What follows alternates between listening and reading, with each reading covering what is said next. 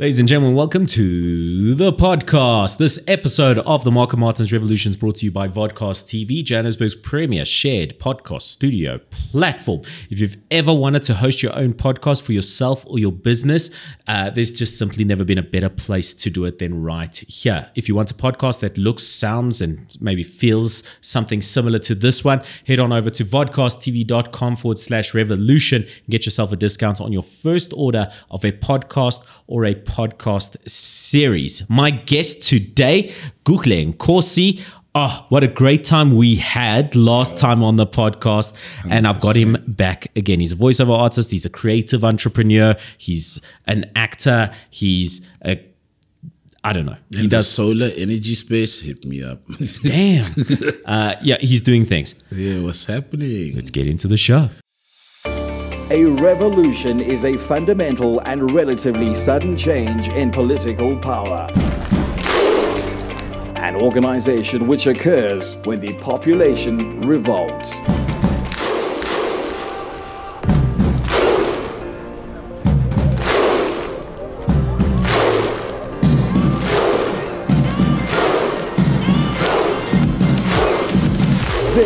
Is the Marco Martins Revolution, powered by Vodcast TV. Visit vodcasttv.com for more.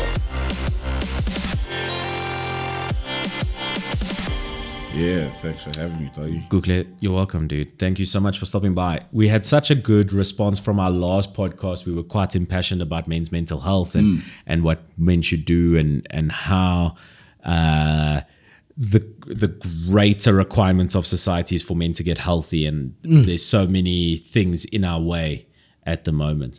One of the things that I brought up last time was some stats in terms of mental health practitioners and how few of them there are to handle a mental health crisis in South Africa. He has a stat right here. South Africa has a 12 month prevalence estimate of 16.5% for common mental health disorders like anxiety, mood, and substance use disorders, with almost a third of the population having experienced a common mental health disorder in their lifetime.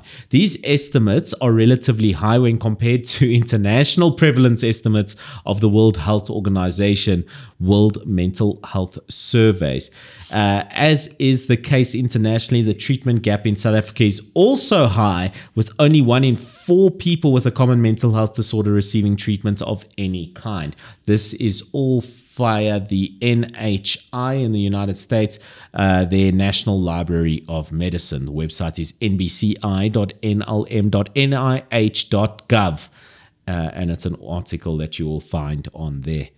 So, massive prevalence even when compared to the rest of the world. Oh, so yeah. when you look statistically uh, at a broad picture, one of the things that stands out to me here in terms of making a bit of an argument is we have a big alcohol consumption country, so that might sway the numbers in a way where we have massive substance use disorders, um, which isn't necessarily an observation around mental health in a large way, but maybe some way that we need to discourage the the uh, abnormal or great use of alcohol.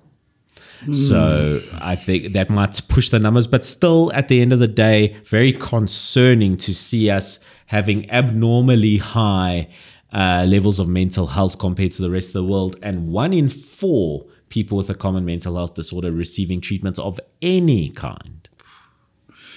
Yeah, man. Um, you know, I guess this is why they say hindsight's twenty twenty, because when you look at a country like South Africa that's got the traumatic history that it does, mm. right?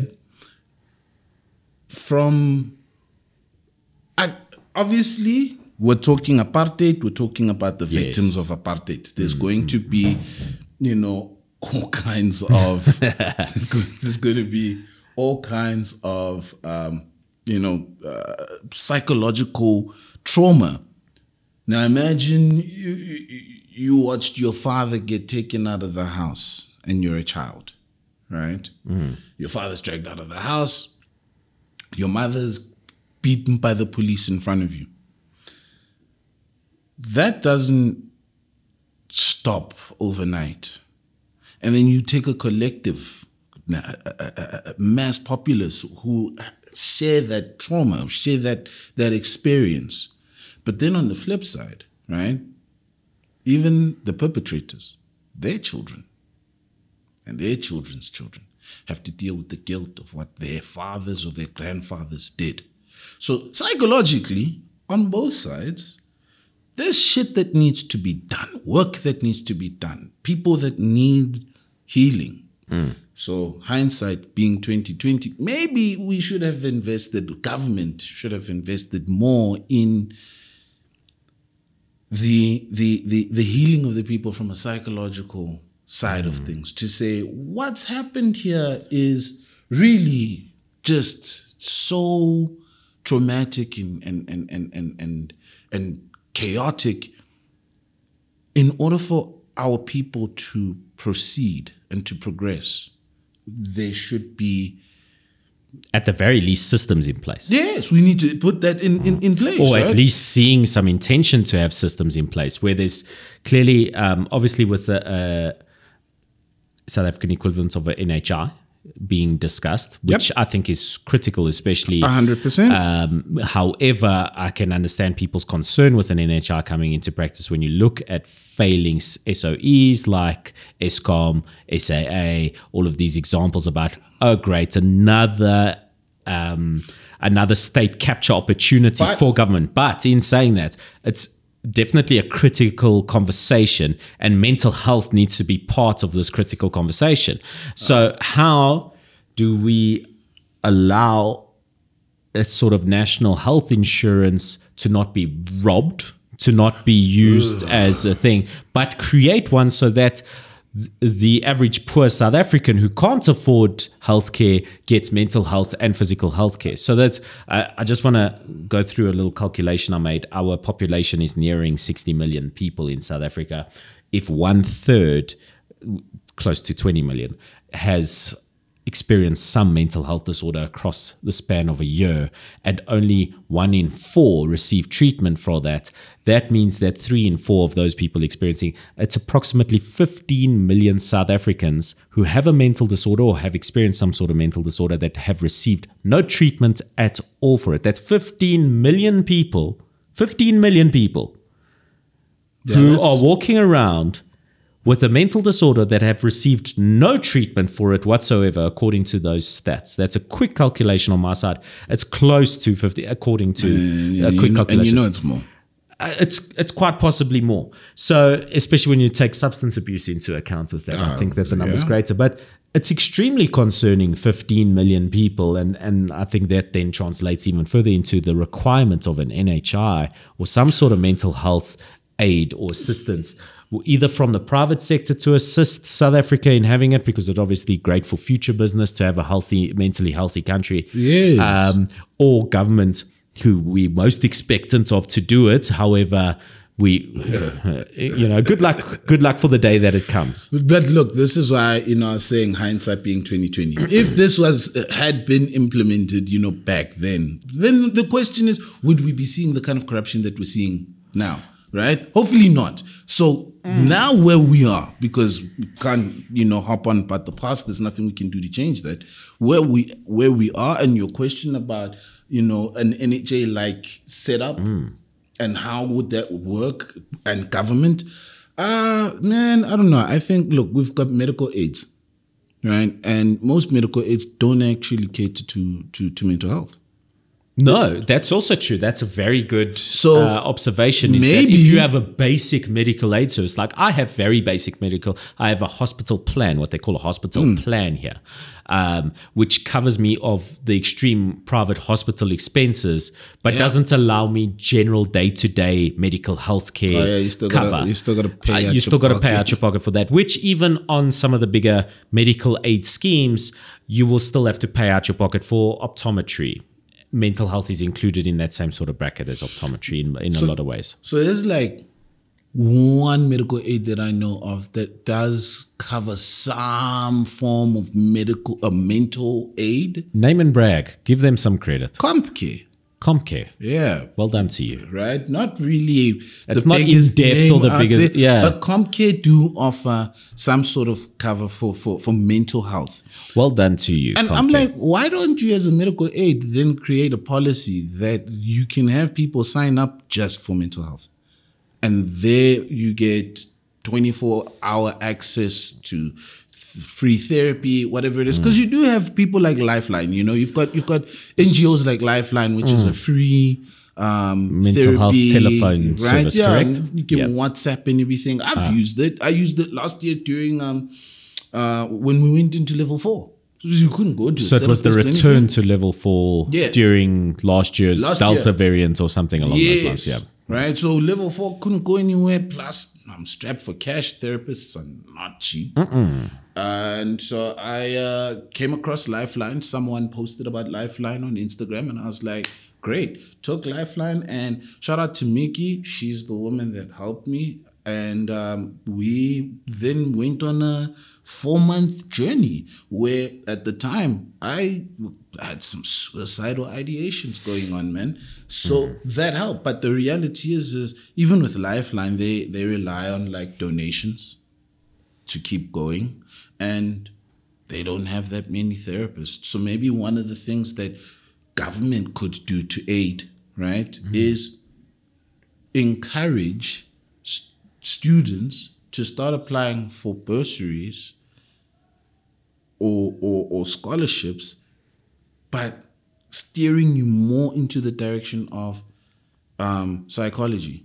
So hmm. there's like a full, you can go on Encourage scholarship. encourage the qualification of mental health practitioners. you right? can get a full scholarship, full hmm. ride, hmm. right? as long as that's your practice. As long as that's your As long as you go and study psychology, as long as you at the end come out a qualified therapist, we will pay for everything. And I think that that should be part of the I think from an from an economic standpoint, uh, the the fees must fall movement was massively important um, in terms of the conversation they were starting. How government goes about doing that, who knows?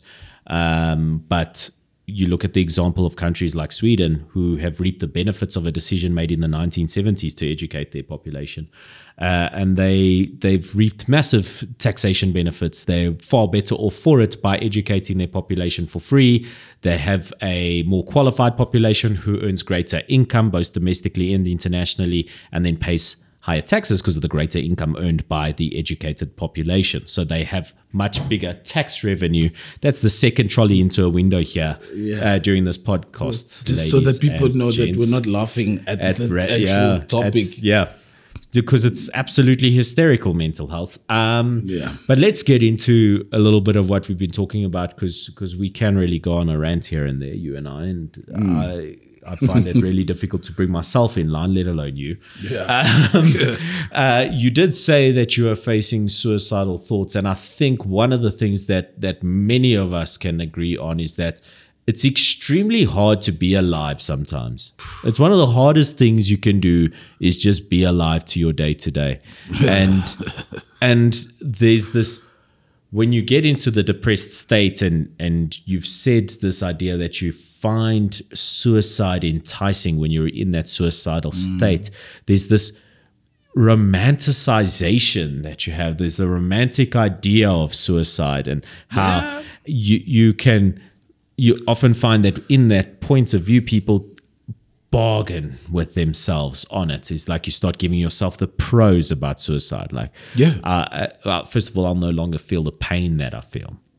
Oh, Second yeah. of all, I'll no longer disappoint those around me or mm. my loved ones, things mm, like that. Mm, if you have some sort of life insurance covers, like if I died now, my family would be set, like their homes would be paid off or whatever, you know, something along those lines. Is that if you have some sort of financial incentive towards your suicide if you've got the well. policy that does actually cover, a lot of these guys lot- don't cover that. which I suppose makes sense, right? But uh, many, like beyond the, the suicide itself, is just the the romantic the romanticization of death in general. Is that it's like there's a financial incentive towards the ones you would leave behind, or the you know there's a lot of romanticizing that we do when you're in a, the space of suicidal thought. Yeah, look, because I mean, here's the thing. Uh, too morbid things.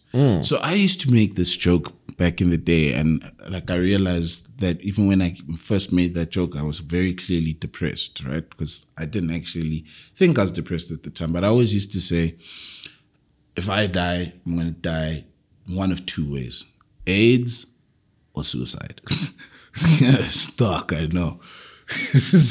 Choosing some sexy, sexy big death it's really- ideas it's- there, it's- right? It's, it's- not like some normal shit. it's really dark. But meanwhile, we'll probably die from motor accident or heart Man, disease. like, yo, like, That's- I- I'll be happy 80, 85. Uh, you know, I'll start smoking crack and then die of a crack overdose. Joking, joking. But I used to make that joke. I used to say, Don't joke. Listen, if you're 85 and you want to start smoking crack, now's your time. Like, I don't blame anyone. You don't have a future to fuck up. Smoke some. You're 85, dude. look, I'm, I'm, joking, This is but my I'm not. bad. This is my bad advice segment, but it is a bad I'm advice. joking, but I'm not. But like, Like, for real. I'm like, if I get an 85, Dude, bro. I'm not even mad. Then if I'll be you're like, doing crystal no, and you're man, 85, do crack and it. heroin and Do man, it. I'll smoke it Do all. it. Right? There's this song called Party. Time by by ah, I forget the name now. It's too British. Don't recommend hardcore drugs in, No. in your 20s No, no. or your 30s No, or your 40s, 40s. 50s. But if you're 85, No, there's there's this song there's this song called Party Time with these two British dopies. The names will come to me, and they they're like in their late sixties, seventies, and the guy even talks about like how his wife's kicked him out the house, and you know he wakes up to a bowl of cocaine and he tried crack, and now he's like addicted. And like they're joking, I hope, but and they're really good at rapping. Mm. But I'm like, you know what? At your age, like if, you know, you're bordering on 70 or whatever.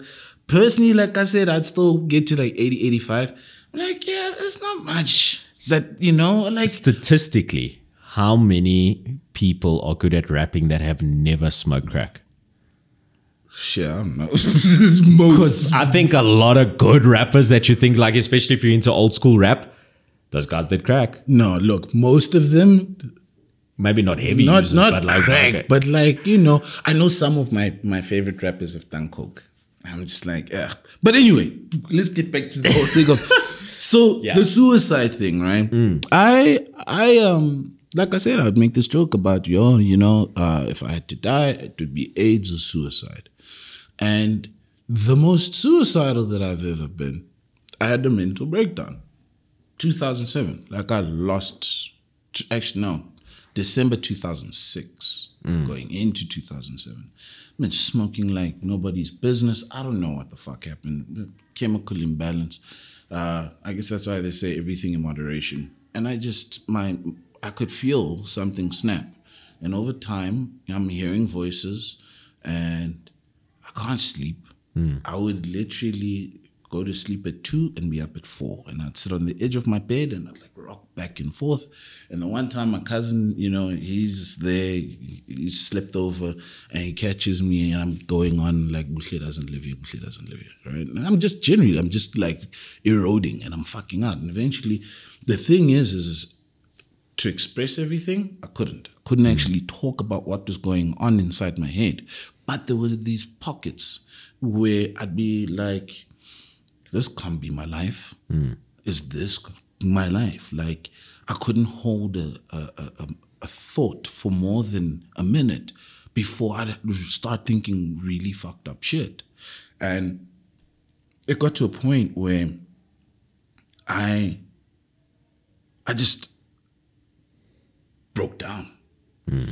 I went out with my cousins, and I'm tr- I was trying to put on a brave face. And we it was New Year's Day, yes, New Year's Eve. Sorry, 2006, and we went to a friend's girlfriend's house, and she had like a fish tank filled with uh, pure ginseng, and I drank half the tank by myself. Don't never do that. that I sound like a good idea. fucked out. So now it's like in the morning, we leave, we go back to my cousin's house, and I'm starting to lose it. All right, there's a song from a rap group called Little Brother with uh, DJ Drama, Gangsta Grillz. And the song starts with Shooby Dooby Dooby Doo, Gangsta Grillz is coming for you. I repeated that line like a broken record for 30 minutes, maybe more. My two cousins, were like at the beginning laughing, and then it was like, dude, this isn't funny. Hmm. So my cousin, whose house we were at, Sfeso, he was like, nah, I'm taking you home. I'm not cut out to deal with what's happening. So we get back to my parents' place, and it's now me and my other cousin, Zoeli, get into the house. As soon as we walk into the house, something happens to me, man. Like, I don't know what it was, but I lost it. So I go upstairs because didn't I still had the presence of mind to be like, I don't want my parents to see me like this. Mm. So I go upstairs and I go to the guest bedroom. My sister at the time staying with us, and my nephew, who's at the time maybe four months old, and I'm sitting in the room with her, and I go through three different emotions. Right? It's like just zigzag. I'm laughing, I'm crying, I'm quiet. I'm quiet, I'm crying, I'm laughing. And it just switch. And my sister, I remember she's like sitting there with me and she's laughing when I'm laughing. And I start crying and then she start crying. 'Cause She's freaking out. My dad came in, he didn't know what to do. My mom came in, she didn't know what to do. They gave me fucking some pills or whatnot, you know, and I'm just, I'm, I'm, I'm flipping out, man. I'm having like this moment where I'm like, I can't take this anymore. It's been weeks. I've been quiet, but I guess the ginseng did something that triggered mm. something, right? And I was like, Mm-mm, this can't be life. There's no ways I'm trying to live like this. Mm. So I went to my parents' room and I pulled out my dad's gun and knew where it was. So I put it in my mouth, cocked and everything. Something said, dude, you can't fucking do this. Like your sister's in the room with your mm. nephew and your parents are downstairs. You're gonna leave them with brain matter in their bedroom. That's that's what they've got to deal with. Your brain fragments, your brain in their bedroom. That's the only reason why I didn't pull the trigger. I was like, I felt guilty. Mm. And thank God I didn't. After that, I've had other moments where I felt suicidal, and there's a, a, a, some sultry, sexy thing about it for me, at least.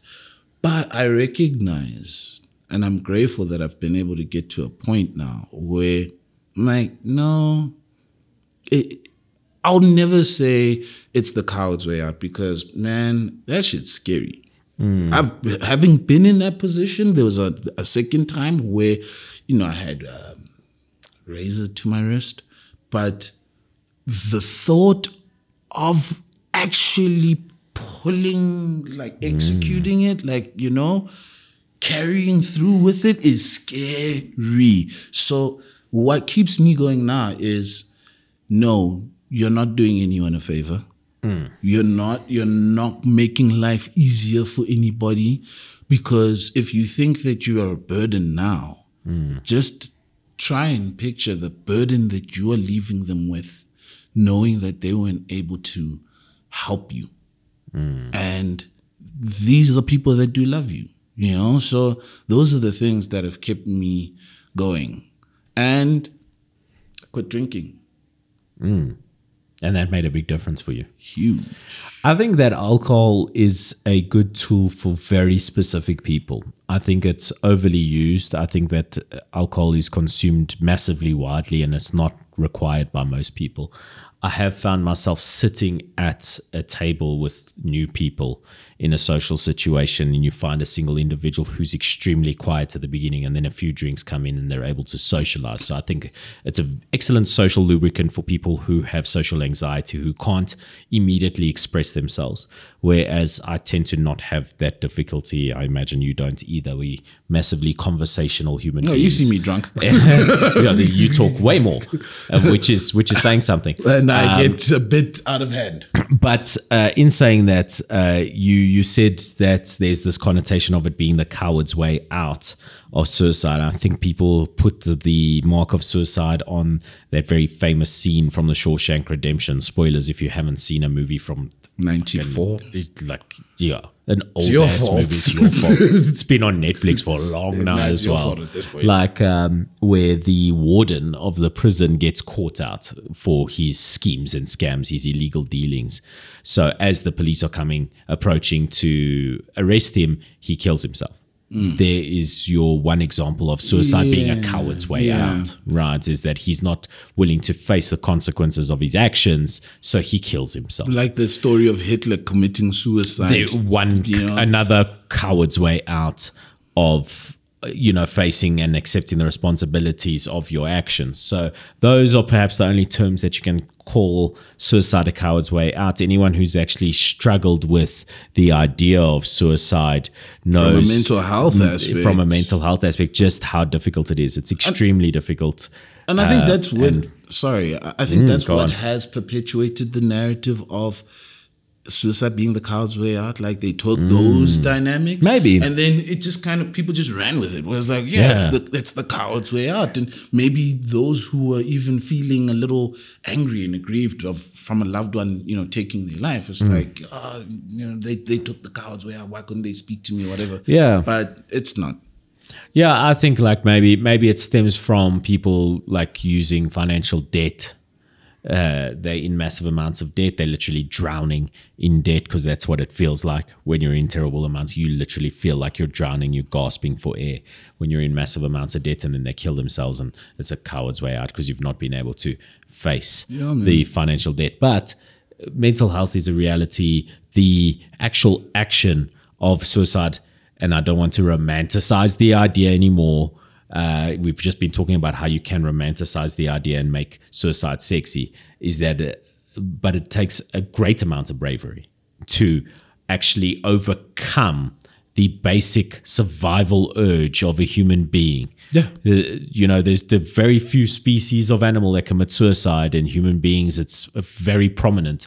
Uh, so it shows an illness in society, I believe. But uh, for you to overcome that desire to live is The instinct. the instinct to live even better is tremendous. Yeah. It's tremendously difficult. to live is instinctual. Like Absolutely. It- it's the the single most instinctual thing. It's where Across the board. It's where anxiety stems from. In many ways, is the the desire to survive. Oh, I'm scared of heights. Yes, because you have a fear of death from falling from a great height. And it might be Yeah. something that you inherit from predecessors. There's uh, anthropologists who believe that the genetic fear of heights stems from people who lived in mountainous regions and they will have fallen from cliffs and it's something that was inherited in your genetic code that like stay away from cliffs because you will die very interesting. uh, arachnophobia could stem from people whose ancestors lived in regions with venomous spiders. And that's why you have this irrational fear of spiders in general is that something that you may have inherited genetically from your ancestors due to venomous spiders. So it's a really cutesy idea. I don't know how many people have proven it wrong at this point. It's probably there. But i like the idea. I like the concept of you inheriting these anxieties or these phobias Well, I mean- from your predecessors through reality, through real danger. And now you have this false perceived danger, and that's why you develop a phobia, an irrational fear of certain things. well, shared trauma is real, you know? South Africa is suffering from shared trauma, aren't Oh, we? yeah. And that's why another thing that I used to say as a joke, which now more and more I'm like, actually, I don't think South Africans are meant to date each other. Hmm. I have seen very happy Americans with South Africans, and vice versa. No, I, Maybe like, it works. I, I, th- I don't know if we're meant to date each other because there's just way too much shared trauma. And uh, I think it's in that where you've got men expecting women to be empathetic and sympathetic. You've got the woman expecting the men to be empathetic and sympathetic. And then on top of that, you still got, you know, the ridiculous rate of GBV and rape on, you know, and financial crisis, and the corruption, everything that we're going through. And I think the shared trauma it has us at a point where we're almost apathetic to the other's issues, right? Whereas if I'm with somebody from Angola, hmm. yes, she's got her traumas. She's got, you know, things that she's experienced from personal individual to societal country, right? Hmm. Cultural. But it's not what I've gone through. So there'll be that that that middle ground that will allow us to almost have space to be empathetic. You know, to be like, oh damn, this is what you've gone through. These are the trials and tribulations that your people have faced. Uh, because I just I look at you know the this, the way things are going, and I, I, I don't know. I think we we're maybe just not meant to date. You know, by and large, not everyone, but I'd, say a good number of us just not meant to date each other. I think that um, a lot of compatible couples share a lot of cultural interests, right? Um, it, not that people can't cross culture and, and have a happy relationship, but I think having some sort of formative years relativity, and I think it's why people uh, have such success dating their same age, especially in our generation, where we had such formative things that was like growing up in the 90s. Oh, I watched Power Rangers. I watched Power Rangers, just like silly little shit, things like that. Help, I think, with compatibility in a way. But in saying that, I don't think it's absolute. I think there's other more important factors than these relative little strands of of uh, cultural connectivity. Yeah. And I think that uh, it's obviously a lot more your true ideals are more important. Like I have family values. I value my family greatly. And then if you don't, that's a clashing point. And like I the, think- the hardcore ideals and I are think more this- important. I think this ties back nicely to the whole thing of mental health in that when uh, I read this stat, I think it's from 2019, 2020, that 32% of children have n- very little to no relationship with their father and almost 60% of mothers are single parents or, or women are single parents. In which country? in SA here. Um, check it out. Just type in um, single parent stats South Africa and there should be an article from like 2019 2020 and you know 32% yeah 32 mm. 32% kids don't know their their fathers.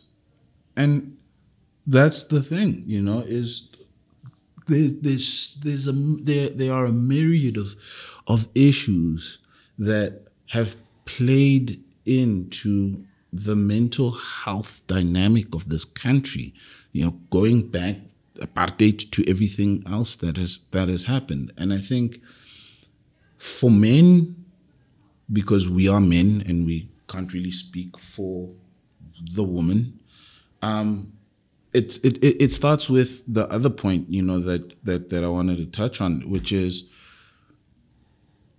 don't use your depression as a as as a way to avoid taking accountability for your actions. So just to interrupt there, I, I agree before we go into there, uh, a stat from many shades of fatherhood in SA, genderjustice.org.za. I don't know how reliable they are, but anyway, the co-residence data from Statistics South Africa shows that 30 36% of children live with their biological fathers in the same household, 34% with both biological parents, and 2% with their biological fathers only. So that's a really small percentage of uh, people, children, human beings who who have lived with only their father as a father figure. It's very very small. Uh, according to the General Household Survey in 2019, households composition are shaped by the residential patterns of its members and their relationships to one another. Nationally, an estimated 39.9% of households were classified as nuclear couples or uh, one or more parents with children, while 34.2% of households were classified broadly as extended households, a nuclear core combined with other family members such as parents or siblings, and only 2.4% of households were classified as complex, meaning they contained non related persons. Uh, nuclear households were most common among households with one or two children. Extended households were most common in households with a large number of children, i.e., three children or four. uh, and more than four children made up 84.5% of that. So, yeah. Um, That's scary. it, it's yeah uh, it looks like the stats need to be perceived greater than what I, I have the ability to understand here immediately. But it is scary stats that the, the father figures in south africa are limited. And uh, i had someone describe this to me as being a uh, long-standing systemic issue caused by migrant workers.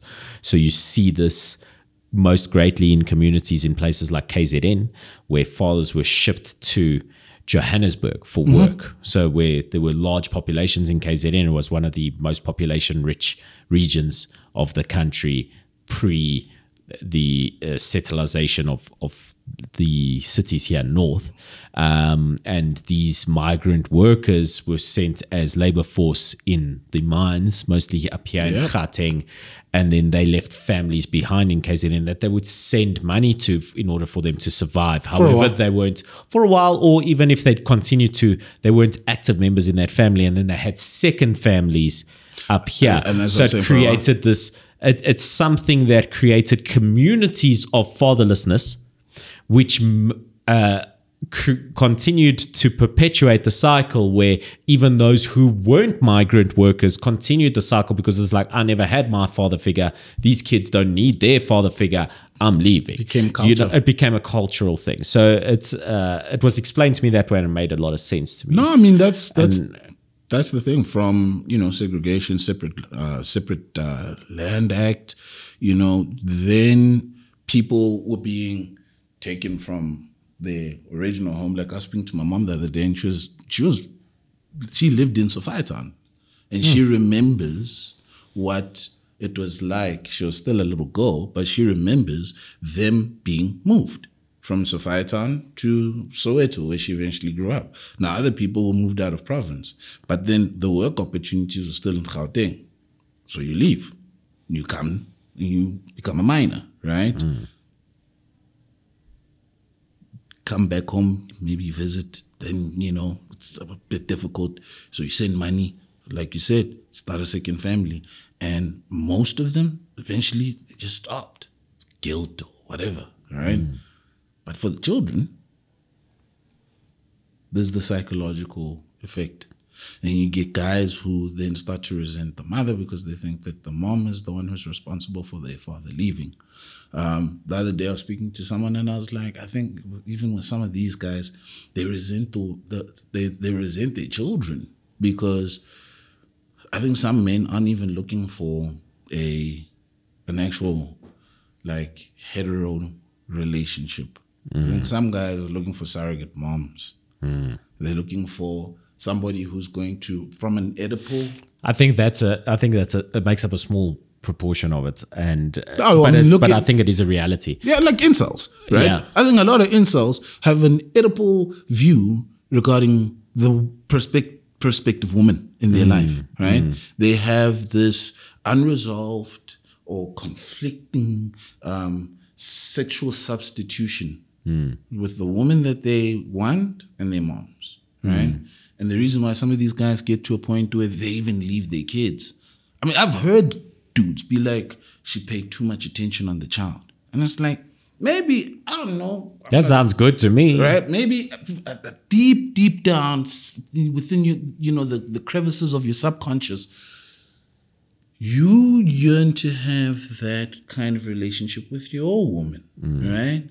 You, if you could, if you could suckle from her teat and consume her breast milk, you would do that. But you can't. And your child can, So you resent your So you child for the attention child. that you that you crave right? That that for you for that uh, you crave. for getting the attention that you right? crave. And yeah. so you then take it out on your woman as well, and you Mm. then abdicate and leave your family. These are things that are, and that's why I say there's a myriad. There are a myriad, you know, uh, of, of issues. There's there's the multitude of of, of of of things that have happened that that play to mental health, and that's why I will always advocate for therapy. Go see a therapist. Call a lifeline. Whatever. Like speak to somebody who's at best got some sort of experience in that. Because I think you know, it, going back to the last podcast, you know, we're saying it, it's it, it's not easy. We're, we're seeing a lot of shit, but you've got to you've got to address these issues because tying into you know what I was saying, you got to stop using your depression as a means to run away from taking accountability. Hmm. And I think, like last time, people think that accountability means having to whip yourself and beat yourself up, and that's that's that's not that's not taking accountability. You know that that that's literally just punishing yourself. And it's counterproductive. It right. So the whole point of accountability is that it's productive. It's productive to solving the issue. It's productive to taking accountability for my actions in wronging someone allows me to take accountability and then uh, right those wrongs or correct the actions or uh, correct the consequences of those actions. Whereas this this self abuse, the self hate, all of this horrible uh, actions that we take upon ourselves is counterproductive. Uh, Substance abuse. Substance abuse is one of these things, and it doesn't actually resolve the issues of accountability. It's it's just sadomasochistic, right? Yeah, That's the, that's yeah. that's that's the sad thing. It's an endless loop. You drink. So how do you safely take accountability? This is a difficult question to answer, right? Is it obviously it will be case by case, but it's it's quite a difficult thing to take accountability and and see the negative uh, the negative consequences of of your poor choices or your poor actions or things like this. But then to not hate yourself for those actions, but take honest accountability and in a positive way. No, I'm not gonna lie to you. It's not easy. It, it, it, it, it isn't. It's a gradual process, and I think because we also live in an era of instant gratification, people think, "I meditate today, tomorrow I'm Buddha, hmm. tomorrow I'm Zen." No, it, it, it, I used to do like after the whole effect of the mental breakdown. I actually did some meditation with Buddhist monks, and even they were like, people have this perception that you're going to be meditating in complete silence, and they're like, we've been doing it for years, and we get distracted.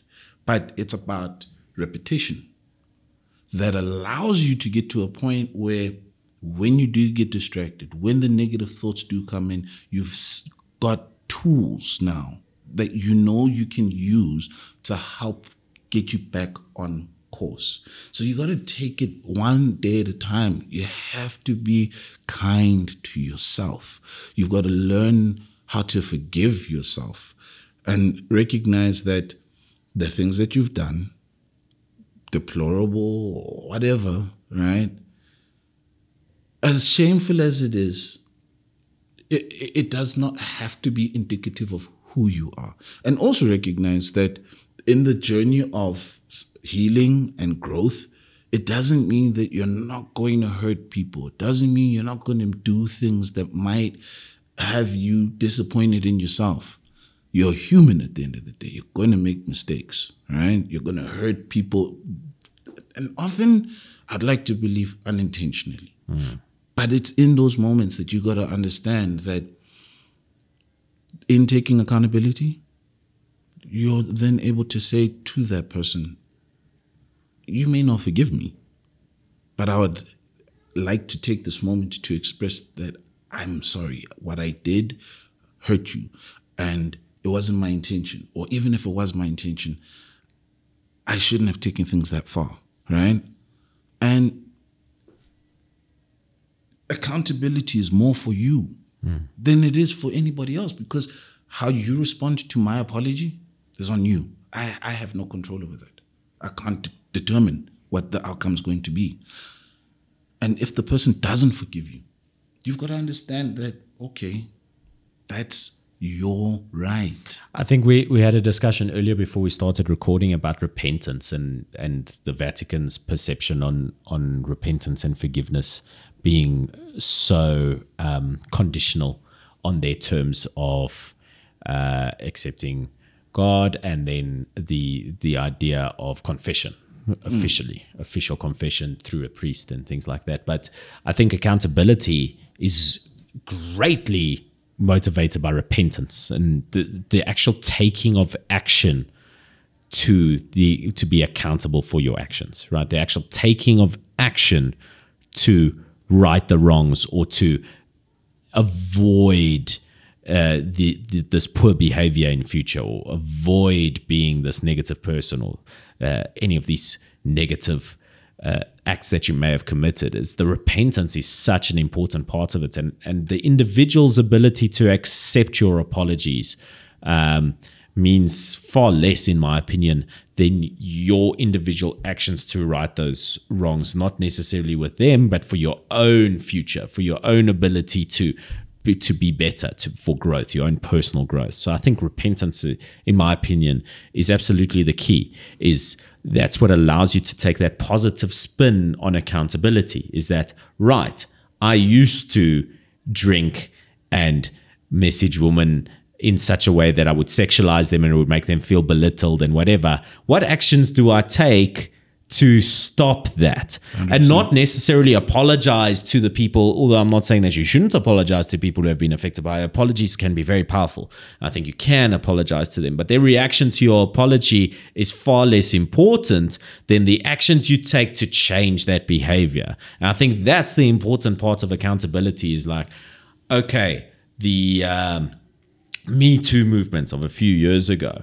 allowed a lot of men to get consequences for their actions. Yeah. Some of the actions were many years ago, which made a lot of men fearful and angry about the movement. It's like this guy did something wrong when he was 16, and now you're taking away his whole career in his 40s. That happened years ago. Forget about it, whatever.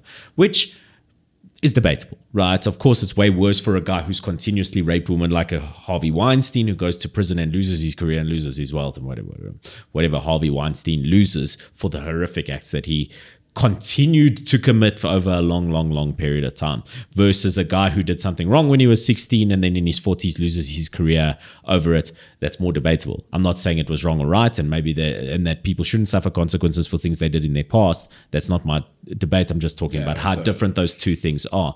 But more importantly, is what it allowed is many people, many men in particular, to reflect on their actions, for example, and then take accountability and be like, uh, first of all, I think the first step is fear, right? Is that like what was happening in the Me Too movement? I think a lot of powerful men, or mostly men in entertainment, people who were public figures, got themselves to think, "Oh, damn, what could I get into trouble with?"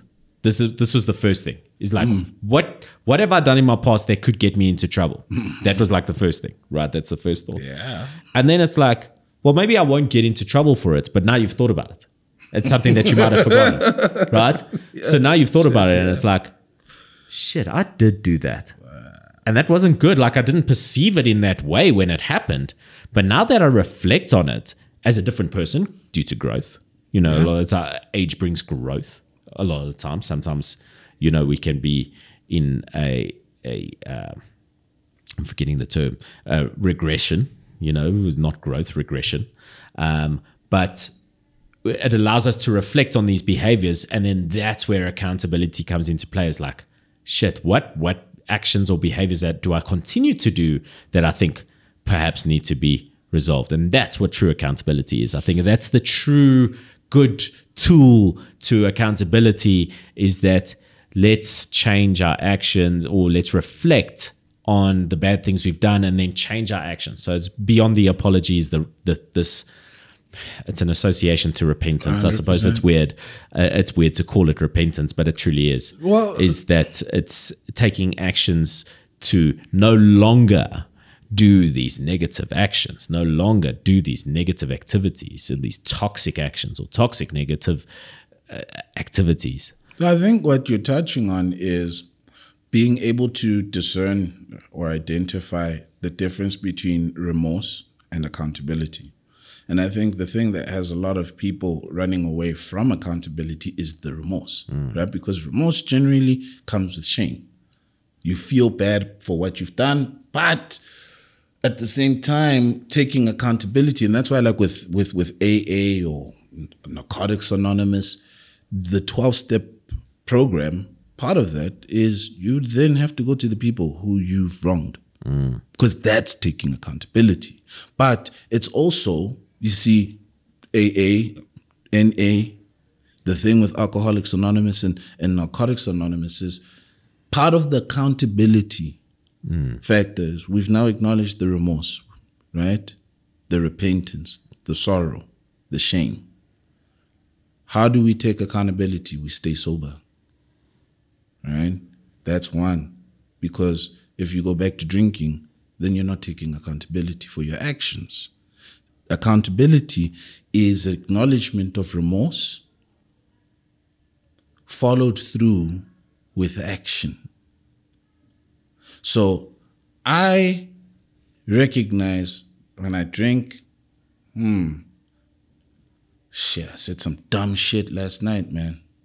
Fucking said some shit to Marco that I shouldn't have said. Yo, Marco, dog, I'm sorry. That's me showing remorse. Oh, okay, cool. Two days later, there I am, fucking drunk again, getting wild and belligerent. Nah, fuck you, Marco, you piece of shit. Do it again. You do tend to say that when you're drunk around me. come back. Fuck you, Marco, you piece of shit. No, And I come back- never said that to me. I come back and I apologize. And if I keep doing that, then the reality is, is I could genuinely be sorry for what I've done in the moment, but I'm not taking accountability. Hmm. So I got to stop, right? And now you've stopped. And that's why they'll say, now you got to go back and show true remorse. Go and apologize. You're acknowledging what you've done. Consequences and repercussions, depending on what we've done, right? Mm. Going back to like what you were talking now, talking about now regarding um, the Me Too movement, mm. the- regarding on our transgressions, right? The levels that they're at. Yeah, I'm 16. I did some dumb shit. Mm. I come back and apologize, right? And I've taken accountability. It's something that I don't repeat. Uh, That you know comes back to bite me in the ass when I'm 40. And we're like, yeah, we can we can we can debate, you know, around that and if I should be punished for it. But again, you know, consequences and repercussions, and there's no timeline on that. You know, it's not the court of law where double jeopardy comes into play because you literally had to at least go to court for that. But I think the thing is, is that's the other reason why people are afraid of of of, of accountability, the repercussions, the consequences, and like fuck, dude, I'm no fucking angel. Hmm. I'm just a, a guy who's trying to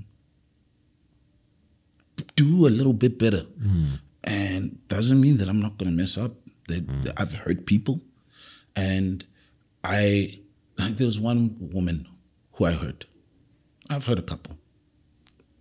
Like I've been an ass, mm. right? And I apologized. Like a year later, because it was eating me up. I felt remorse. And so I messaged her to say, I want you to know that it wasn't you. I was the problem. And she turned around and she said to me, You know, thank you. I really needed to hear that from you.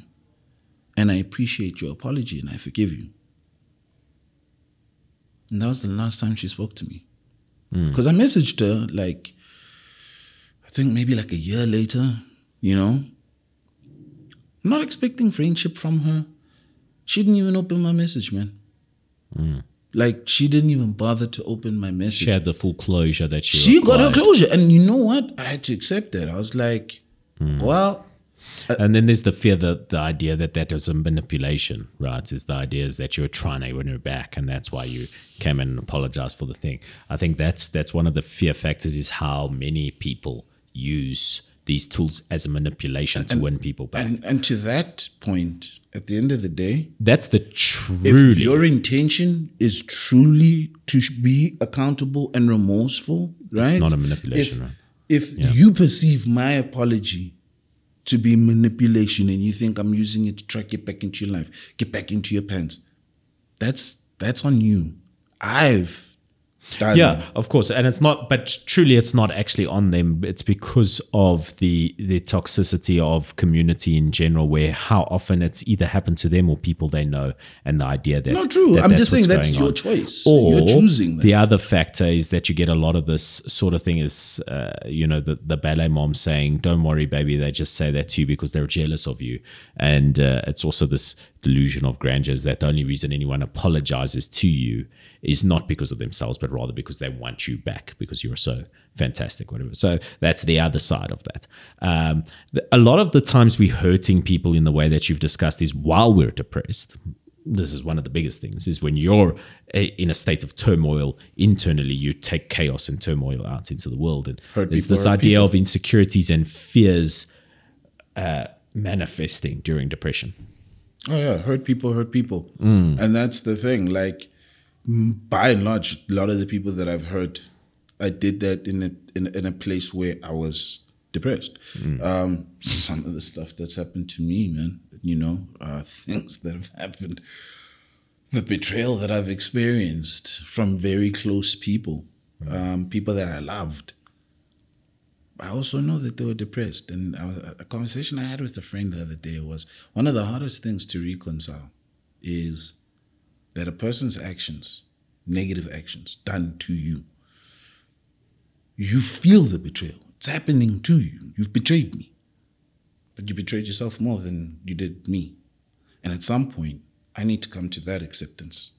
That's how I have to let go of the trauma and That the I'm not the true victim in this. This isn't actually about me. Hmm. Because trust me, I know, I understand. It's very easy to get hurt and then to feel like that dejection, that rejection, that betrayal hmm. is indicative of me. I'm not worthy. You hurt me. You did this because I'm not good enough. No, no, no, no. You did this because you felt that you weren't good enough. And sadly, I am, as they say, uh, casualty of war. I'm a casualty of your inner war. I think you- you're absolutely right. And uh, it's so indicative of human beings. It's so much of what we live every day is the idea of walking through a shopping mall with a pimple in your face and obsessing over why everyone's looking at you from your own internal thing. And we're always thinking that everyone's paying attention to us. Everyone's paying attention to me. What does that mean for me? And human beings, we're programmed about me, me, me, me, me, me, me, me, me, me, me, me, me, me, me. And 100%. we're so concerned with how other people perceive us without even thinking to ourselves, people don't give a shit about you. People aren't thinking about you. And even your closest people aren't thinking about you. Everyone's thinking about you in relation to them. And that's how the human brain works. And if we all just think like that, and, and the easiest way to think and the easiest way to describe this is for you to honestly look at yourself and ask yourself, do I think about other people? And it's like, no, you're self-centered. You're you think about yourself constantly. And when you see another person, you think about them in the way of, that it relates to you. It's all your own experiences of that human being. It's all when you see a person and they're like, that person greeted me shitty today, or they said something. uh, You don't think, did he have a shitty day? It's about what did I do to deserve that shitty greeting? That is how our default, that's our default setting. I'm not saying you need to try escape from that. That's just human beings. We think about ourselves. But the you looking at your own behavior in that way allows you to see why other people are like not paying attention to you. They're just simply not. It's it's as simple it's as simple as it is. I'm, I may be oversimplifying. There are states and scenarios where you are thinking about other people and you are genuinely concerned about what's going on with their yeah. internals and things like that. But most of the time, it's just about how that dynamic translates to you, how it affects you. It's the impression of you, your impression of you, what's going on with you. It's how I look, not worried about how they look. And even if you are worrying about how someone else looks, it's like, why don't I look like that? Or why do they look like that? Do I look good enough to be represented by someone who looks like that? Me, me, me, me, me, me, me, me, me, me. You see, it goes to a conversation I had with my friend Natasha, um, and a couple of other people. But everyone wants to believe that they're special, right? Mommy's little star, special little boy, special little girl, right? You're the star of your movie. Mm. And rightfully so. It's mm. your life, you're the star. Problem is, is then thinking that you're Truman and this is the Truman Show mm. and that you are the star and everybody is playing in the movie of your life. Everybody's just the featured extra or a co-star in the, you know. Good movie, by the way, if you haven't Oh seen yeah, it. no, damn good movie. But the thing is, is like sometimes you gotta understand that, you know, someone used to say there's a saying. It's like it comes from hip hop, like charge it to the game. Mm-hmm. Sometimes, and that's difficult because it, or, or the movie Layer Cake. I don't know if you've ever seen Layer Cake, but there's, like don't take it personal. It's Is- just is business. That the, is that the the? It's just come onto Netflix. It's a British gangster show. movie, yeah. British yeah. gangster Daniel movie, right? Craig's, I'd like to believe, auditioned to get the role of James Bond. But there's a scene where some shit goes down, right? And the guy's like, don't take it personal. It's just business. And that's the thing. It's fucking hard to not take shit personally. Because that's our default. You've done it to me. It's like, what do you mean don't take it personally? Right? And that's business. Now imagine when it's when it actually Personal. is personal. We're friends, we're lovers. But You've don't take it betrayed me. And the thing is, is you have to say to yourself in order to move on. And I'm not saying don't feel the hurt. You're human, you will. You'll feel betrayed, you'll feel angry. But to let go of that for your peace of mind, for your mental health, in order for you to be able to get past that, not to absorb that trauma and then internalize it and, and, and then dish it out to the next person because hurt hmm. people hurt people. You need to get to a point where you're able to say, don't take it personal because it had nothing to do with me. Those are your demons. Those are your issues. Those are your scars. That's your internal war. And sadly, you couldn't fight enough for yourself to see the value that I possess. And unfortunately, you lost a good person in your life. And I've had to have that conversation when I've done people wrong to be like, yeah, I lost a good person in my life. Because at the time when I wronged them, I was going through my internal issues. And I then outwardly projected what was happening internally. Hmm. And I didn't have enough faculties to recognize why I shouldn't do this to this person and vice versa. So, cool, you've lost a friend, you've lost a lover, you've lost whatever it is in me. That's the thing. I can get to the point now where I don't take it personal, right? I recognize Marco betrayed me because Marco's going through his own issues. So, cool. I separate myself and I distance myself. Problem becomes you come and apologize. You think your apology is going to mean we get back to being friends. And that's the thing with accountability is understanding that at the end of the day, once you've taken accountability, the cards will fall where they lay. Maybe the person does take you back and you guys can rekindle your friendship or your relationship. And other times they'll tell you, thank you, I forgive you. And that's it. And other times they'll tell you, go fuck yourself. Whatever the outcome is, man, you got to understand that you really can't take it personally. you, you can't. I feel personally attacked. um, but you're absolutely right. Now, sorry to go all Freudian on you. Uh, let's go back to where we were earlier in talking about men who replace their mothers with their partners. Uh, according to eHarmony, because we all trust them so much, the dating site, men are looking for a nurturer, not a mother. Thanks, eHarmony. Uh, the mirror.co.uk, the British Mirror, uh, have a study by dating site eHarmony again, once again, found that 64% of men go for women with the same personality traits, uh, personality traits rather, as their mums.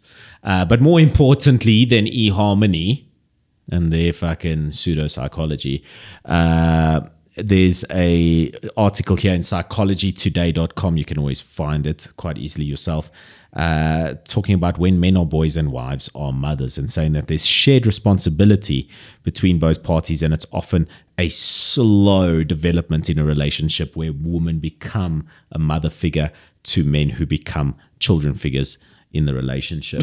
and uh, uh, it can start at points where a woman has asked their husbands to grow up and try remove them from their toxic friendships and say, before you go see your friends, we need to do this, uh, which is a very, if you have a mother like mine, you you know that feeling um, and then women who who take that action and do become caregivers they they need to take some of the responsibility for that um, so there's a warning here in psychology today to uh, recognize the roots of these behaviors and not allowing them to envelop your relationship and grow long term. So there you go. Just a little bit of a re-return. And then to get freudian on you is we've been talking about depression and we've been talking about the existential dread and the anxieties and the psychological problems of men. And, uh, you know, Freud would tell us it's all because we didn't have sex with our mothers that we wanted to do when we were younger. Um, but the reality is, mental health is impacted by sex, especially with men, and a lack of sex can cause mental health issues and uh, mental health behavior. And like, I think Andrew Tate wouldn't have a following at all on his social media platforms if all young men were getting laid. And I think a lot of his following is from young men who can't get laid at, at all.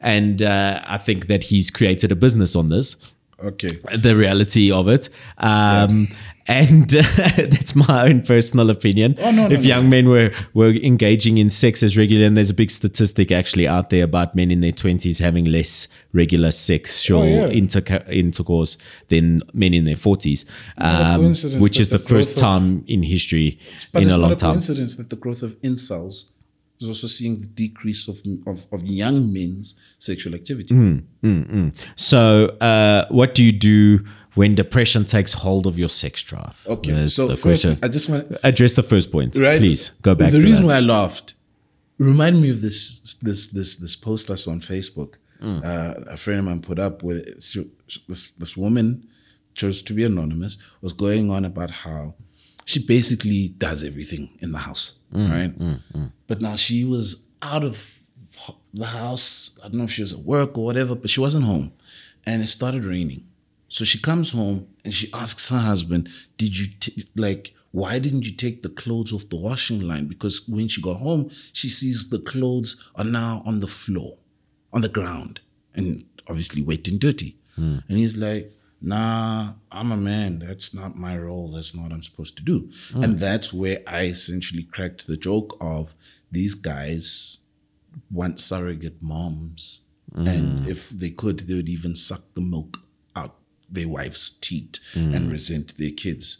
Um, now, the Andrew Tate thing, 100%. I think, you know, guys like him for the incels, right? For the average, average guy, they look at an Andrew and it's like, I wish I could be him. So they put him up as this savior. But what they don't realize is you never heard of Andrew Tate until he was driving his Bugatti. He hmm. waited to get all the shit that he's got and then jumped onto his platform. You living in your mom's basement, you who doesn't have a set steady payment, you who has their father paying for their cell phone contract, you whose girlfriend is the one that has the car. Hmm. You can't speak like Andrew Tate. I don't agree with Andrew Tate, but you can't speak like Andrew Tate. At least You Andrew, really can't. At least Andrew Tate. Andrew can be like, At least it's arguable when it's Andrew Tate. With you, you can't even argue it. Because You're so with- far away. Because with Andrew Tate, at the end of the day, it's like, yo, man, I got the money, I've got this, that, and the third. And the woman that get with me, they straight up, they know what they're signing up for, right? I'm telling them that this is the dynamic. And I've got the money and I've got the lifestyle that I can mm. provide. them. Besides his rape allegations, motherfucker. Anyway. Sure, I didn't know. I, did, I didn't know about that. But Yeah. you, you know, fucking Umberto, Pedro, fucking Thabo, Yeah, Jacob, whoa, whoa, and whoa. whoever else, right? You can't, as an ordinary, average ass motherfucker, think that you now somehow be like, yeah, Andrew Tate said, Andrew Tate's a millionaire. He drives a he drives a 32 million rand car, excluding import and tax. So I just needed to say that. depression and sex. And yes, uh, that there's a, I don't know. Have you ever seen the movie Human Traffic? Uh, no, I've not seen it. I've heard about it. It's a classic, man. It's one of my favorite fucking movies. It is like Is it the British film where they Welsh. follow each individual person's story? So it's like a, a multi-story British film. Am I right? yeah, it's Human Welsh. Yeah, yeah. Oh, so, it's Welsh. So it's it's it's it's. Well, I guess yeah, British. Uh, yeah, yeah. It's um, United Kingdom. Mm. it's a it's a it's a movie about a group of youths who the weekend is coming. It's time to go and party, right? And Right, I have seen this. and and um you know it's 90s man you know the rave era. And uh it's like the light-hearted comedic equivalent of Trainspotting where Trainspotting was like you know Yes, right, had- it's funny but it But it was, was also heavy. like heavy. This one was like yo it's just Okay, wait. Insert human traffic meme gif over here of the uh, the the guy working in the record store Jip- giving no uh, giving Jip's the, the main character. giving the drum and bass heads the jungle the the Yeah. the Tarzan and Jane of jungle just Tarzan and swung in on the vein this yeah. morning. Yeah. you got any jungling guy Jungling guy. right? yeah, right, right, right, Yeah, Koop, Koop, Yeah, Koop, and Jip. So there's a scene where they're in a lecture and they're talking about the effects of like ecstasy and all of that, right? And uh, they break the fourth wall and then you know talking about how like it can affect your sex drive. Uh, and uh, build up to that, Chips got like a retort for everything that they're saying, you know, about ecstasy and coke and the effects of drugs on the brain and whatnot. And then they're like, and it can, you know, cause erectile dysfunction. And he's just like, uh, He like he looks away from the camera, like, right? "Oh, I don't have a retort for that. and here's the thing about depression, bro. Like it is that like it's like drugs. In that regard, it it it can have that effect on you. And as a man, where there's so much external and internal pressure, mm. right, up, regarding your virility, mm. regarding your performance. I'm not even talking about size mm. as men, there's there's there's so much that is connected to our essence and being that has to do with our penis, right? With the little man. yeah.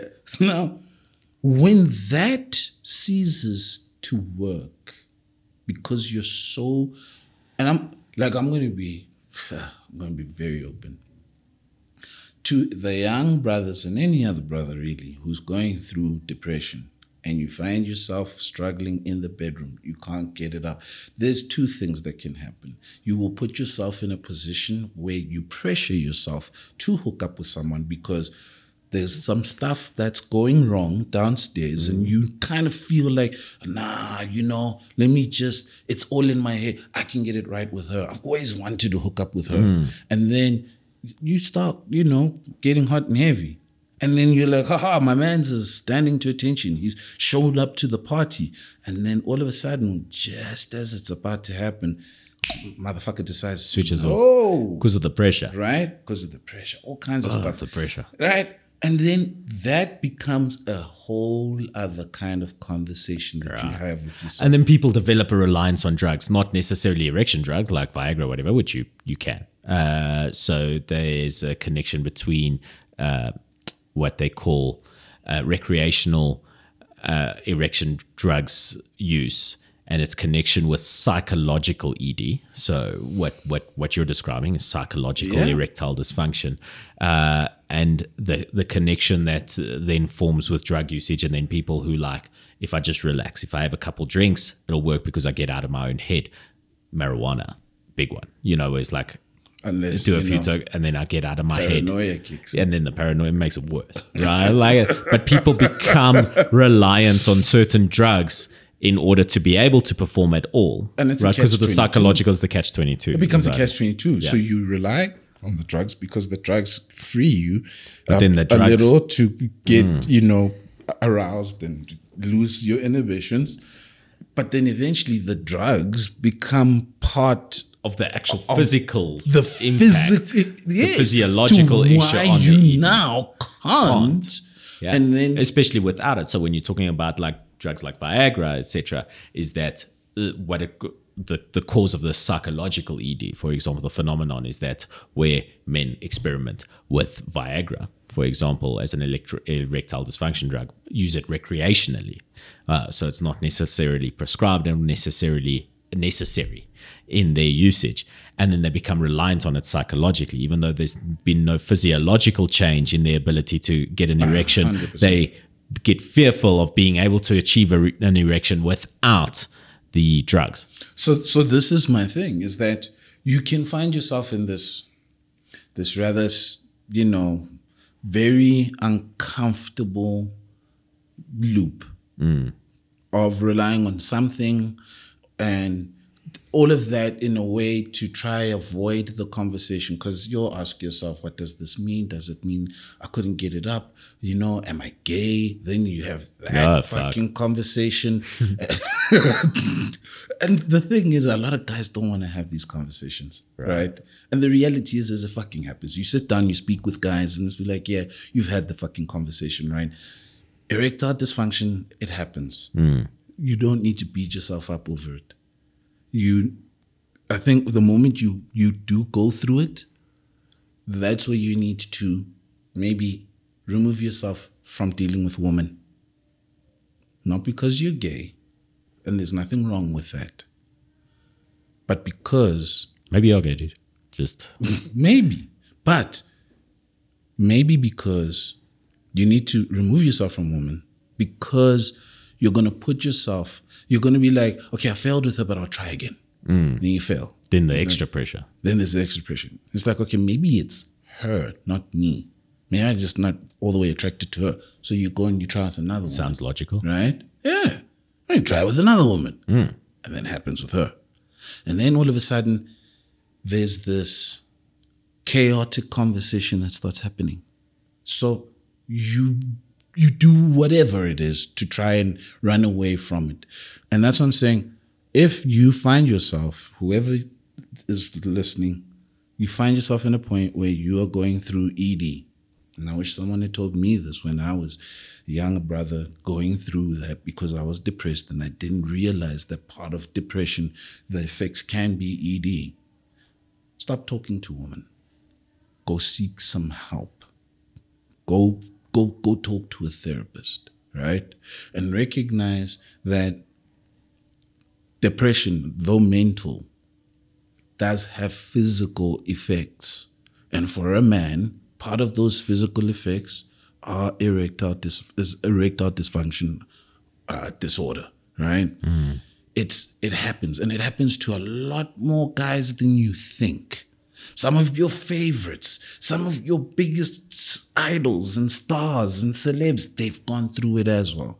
They're just not going to talk about it because society and ourselves as men as well, we've put so much pressure on being this big dick daddy who's just constant. Doesn't matter. You could do a work shift 18 hours, come home, and you still And a light breeze gives it to you, bro. just knock it out the park. Just Let's go. porn star. And it's like sometimes you don't want to, and it's okay. Sometimes you're too tired, and that's okay. And sometimes you're so mentally fatigued Hmm. that it's just not going to happen, and that's okay. And that's not an insult to the woman that you're with. And Please, ladies, isn't. don't feel insulted if a guy can't get Yes, it up with you. It's not your fault. women- Please stop uh, buying into this idea that men are always horny and they're always prepared to do it. And We're they're always, always fucking uh, horny. you know, and that if you get turned down, there's something wrong with you. There's nothing wrong with Yeah, you. uh, honestly, ladies, it's not about you. It's not about It really is. I- this is turning back to that discussion we had. It's not about you. Nothing's about you not about ever. you. Nothing. No. Everything's always about the person involved. Nothing's about you. Like this one, this isn't the, the, the, the, the played out corny, it's not you, it's me shit. This is legit, not Yeah, you. not you. It's physically, literally, And psychologically, and psychologically, and- yeah, it's, it's me. me. Yeah. Uh, So the last thing that I need is for you to make me feel even guiltier. And that's what I love about human traffic. I won't, for those who haven't watched it, spoil, Spoiler. but the end, right? And I'm just like, La, empathy la, la, goes a long way. empathy goes a long way. That's that's that's what I'll say. Empathy does go a long way. Empathy really does go a long way. So to those with the whole thing of dealing with with with with your you know lack of sex drive or uh, uh, uh, erectile dysfunction while going through depression i will say again practice a little kindness towards yourself be empathetic towards yourself and understand that it's a lot more common than you would think because i know somewhere out there there's a guy who's torturing himself because of this. And it's like, yo, bro, like it happens. And you know what? Like the sun goes down, the sun comes up, hmm. it rises, and so shall the man. it will come back. Don't worry, oh, guys. man. It will. I think that's a good way to wrap this up. Uh, our, our discussion broadly, slightly lesser than last time, was around mental health. Um, it was a little more fun and a little more lighthearted this time. But just to finish off on the serious note, and it's a stat that I wanted to bring up in the previous podcast and something we discussed now, is that according to the NIH.gov website, uh, an article from 2016, so slightly outdated, however, I think still relevant, um, is that South Africa, with a country with a population of approximately 53 million at the time we as we spoke about earlier it's nearly 60 million now uh, a, a population of approximately 53 million people is served by a whopping 10,961 registered psychologists 10,961 registered psychologists for 53 million people and 799 psychiatrists, which now is pumping up those numbers really nicely. Uh, it's, you know, we, we're doomed to fail with numbers like that. Then we've still got to look at LSM demographics. Of course. And who Majority can of afford, those, how many of them are in private practice, Oh, oh, yeah. and how many of them are. Because a in- practicing therapist, man, a psychologist is, if you've ever gone for therapy, you know it's not cheap. So where are you most likely going to find them? You're going to Mm. find them in the suburban areas, right? Unless they work for some government clinic or Well, doing. a, a total of the clinical psychologists, uh, including community service clinical psychologists, uh, 487 are, are categorized as African uh, in total. 367 of those female, only 120 male African clinical psychologists in South Africa. Uh, 109 are colored, 154 are Indian.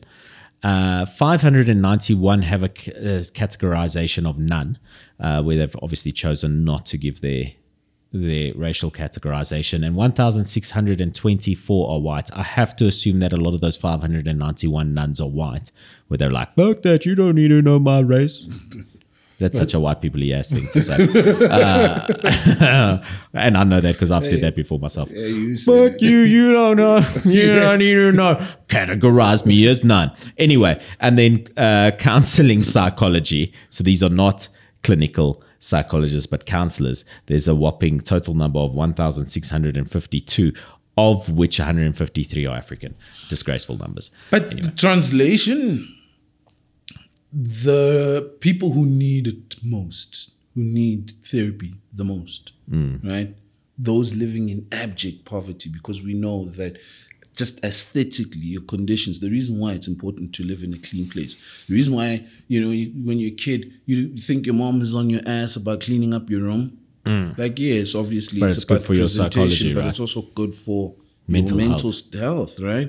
If you are living in and structure and systems, right? And and uh, it's one of the things that comes up regularly in in uh, uh, trials for um, custody. Like in, in custody trials, is like who's- who gives the most structure? Exactly. Which household has the most structure? Like you wake. What time do you wake up at mom's house? Eight a.m. every time we wake up at eight a.m. or Dad's whatever. house. You know, dad's house. Whenever. Whenever, whenever dad wakes up. Okay, already. That's a big no-no. So, so these are the things, right? Now, just aesthetically, Mm, It, it, it, it's the it's the same reason why you look at some of the European countries and their approach now to prison reform, Mm. where they're like, okay, we're not going to follow the American model. We just put guys in these cages and there's like 50 of you. We're actually going to give you a decent setup because this is more conducive to reform, right? You're not waking up in in in in, in like hell mm. and sharing the shitter with six other guys. Yeah. Right? Like if you look at the more Scandinavian countries, they've even been like two guys a cell, one guy a cell, and there's a library and TV and pool table and eventually these guys the the the, the rate of um, repeat offenders is like arguably the lowest anywhere in the world. So one thing studies have shown is when people are growing up in abject poverty and it's just squalor all around, if what you're taking in on a daily is just violence and shambles, symbolic, you know, st- uh, structural dynamics, broken windows, fucking the walls are falling apart, the roof and all of that stuff. That's gonna have a direct impact. effect on you psychologically. You're going to internalize that and you're going to process that as my environment is equivalent to me, how I am. And so you start to mirror your surroundings, you start to mirror where you live, right? Mm. So psychologically, you're going to act out. Mm. And that's why you will find that the poor will end up committing more violent crime than those who are living in a higher in, in a higher LSM. yeah, beyond the, the necessity of committing So crime the for tran- income and survival, Exactly. it's also So the the, tr- psychological. so the impact. translation of what you said basically is the people who need, you know, mental health assistance more than most don't have access don't to it. have access to it. and that's terrifying. And this conversation is terrifying. It is a Friday for us. For you, however, you're watching it whenever you're watching it or listening to it whenever you're listening to it. Google, let's wrap this bitch up. Any parting words? Um, yeah, man. Like, you know, just be empathetic. Lifeline, uh, Google them. Free therapy. Um, if you are using drugs, alcohol, whatever it is, Hey, hey. be honest with yourself about your relationship with these substances. It's scary, but look, I haven't even been to AA. But go to AA if you if you'll know if you need to go to AA because the conversation you have with yourself will tell you, right? And NA. But be kind to yourself, be empathetic to yourself, and remember that accountability doesn't mean that you got to beat yourself up. Don't beat yourself up. This has been a Marco Martins Revolution episode. Kuhle Nkosi, thank you so much for joining me once again. He will be back again because I just love these conversations. And you've been listening to us for long enough. If you do want to have a podcast that looks, sounds, and perhaps the content is slightly different, hopefully, uh, and feels just like this one, be sure to go to podcasttv.com forward slash revolution, which is of a discount on your first order of a podcast or podcast series. For me, for now, it's goodbye.